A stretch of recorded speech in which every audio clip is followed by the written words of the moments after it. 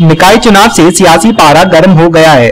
सभी प्रत्याशी अपनी पूरी ताकत, अपनी जीत के लिए लगा रहे हैं। प्रत्याशी का समर्थन भी अपनी पूरी ताकत, अपने प्रत्याशी की जीत के लिए लगा रहे हैं। इसी कारण से बसपा छोड़ आए नासिर कुरैशी ने सपा ज्वाइन करने के बाद सपा से मेयर पद के प्रत्याशी हाजी यूसुफ अंसारी का प्रचार करना शुरू कर दिया है।